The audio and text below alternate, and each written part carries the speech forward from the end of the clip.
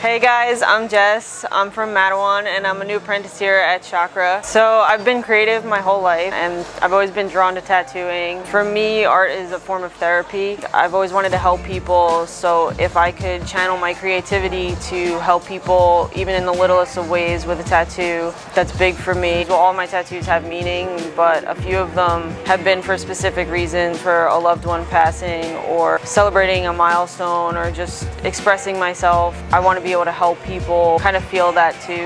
If they lose a loved one, their form of healing could be getting that tattoo to remember them and I want to be able to help them. I've always been really drawn to abstract styles. Lately it's been a lot of geometric, fine lines, like delicate style, mostly like black and gray. Just being able to learn from some amazing artists in itself is a life-changing experience. So yeah, I can't wait to get started and my name is Jess and I'm an apprentice here at Chakra.